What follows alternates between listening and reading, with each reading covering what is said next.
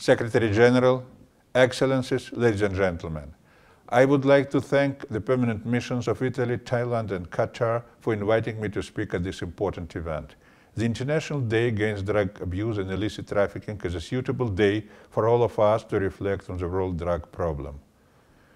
Today also marks the launch of UNODC's World Drug Report 2013 at a high-level meeting of the Commission of Narcotic Drugs in Vienna. Based on this report, uh, there appears to be a decline in the use of heroin and cocaine in some parts of the world, but the use of prescription drugs and new psychoactive substances is growing. Afghanistan retains its position as a world leading producer and cultivator of opium. Myanmar continues to be the second biggest producer of opium. Cocaine production is largely unchanged from 2011, but its use continues to fall in the United States while remaining stable in West and Central Europe. In Africa, consumption is growing.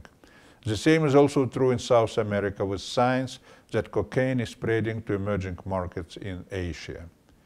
Amphetamine type stimulant use is widespread with methamphetamine pills the most predominant form of ATS in East and Southeast Asia. In the area of drug control, there are major challenges ahead of us.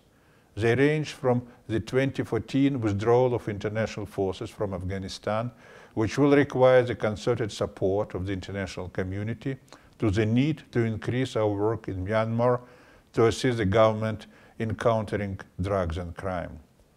The drug trade and organized crime is fueling economic and political instability in Africa.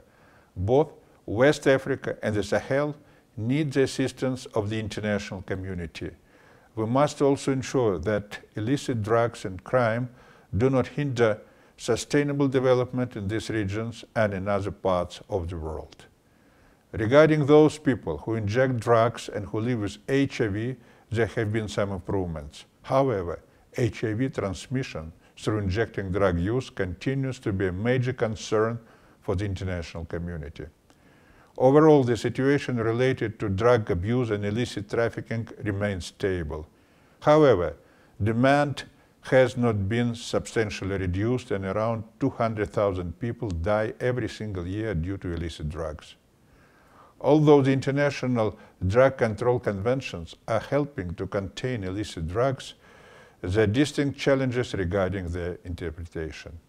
These challenges include the violence generated by illicit drugs trafficking, which is so damaging in some nations, in particular in Central America.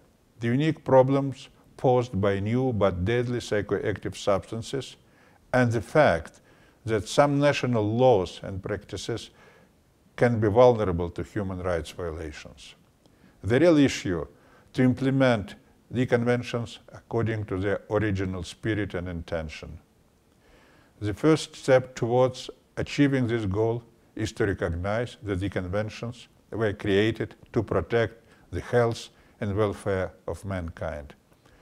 UNODC promotes a balanced approach to illicit drugs founded on fundamental human rights. This approach must emphasize the importance of science-based prevention and treatment for problem drug users. Within the United Nations, there is a unanimous agreement on a roadmap for the discussion of all these issues. In 2014, a high-level review of the political declaration and plan of action will be conducted by the Commission on Narcotic Drugs, followed in 2016 by the UN General Assembly special session on the world drug problem.